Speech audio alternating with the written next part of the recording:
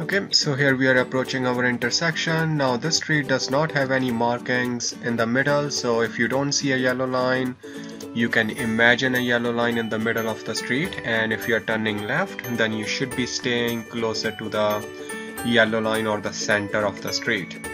Now we see a stop sign and this stop sign it doesn't say four way or three way so that means the stop sign is only for us so we will make a full stop before the sidewalk and then uh, we check on both sides for the pedestrians.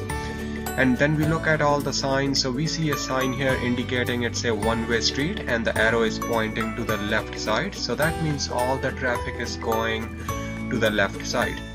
That means we're gonna be turning into our very first lane into the first available lane. But here the looks like we got three lanes in total on the street and uh, the first lane is um, not available uh, because we have a parked uh, car in the first lane.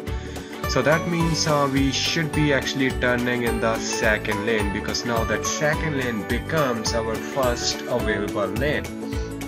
So we will uh, we will take the second lane which is our first available lane now now we see another uh, intersection coming up and uh, we see two stop signs here and they both are actually facing us.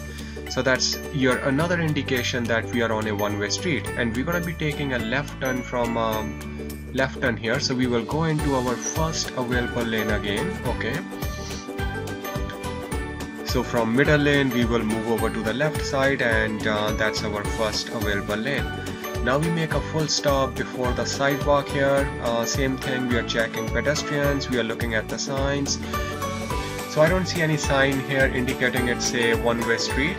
So that means it's a two-way street so we're gonna imagine a yellow line and um, we cross the yellow line and we are staying on the right side of the yellow line. Alright uh, so let's uh, let's do this um, one more time so we will go back onto that same intersection. Alright folks so we are back onto that same intersection here. We see that same one-way stop sign. Full stop before the sidewalk. We already know it's a one-way street. There is this um, sign as well. And we're going to be turning into our first available lane which in this case is actually the middle lane because the left lane is not available due to parked cars. Now this time we are going straight from this intersection so we're gonna stay in the middle lane alright so we made a full stop. Uh, we are checking pedestrians and now we are staying in the middle lane again.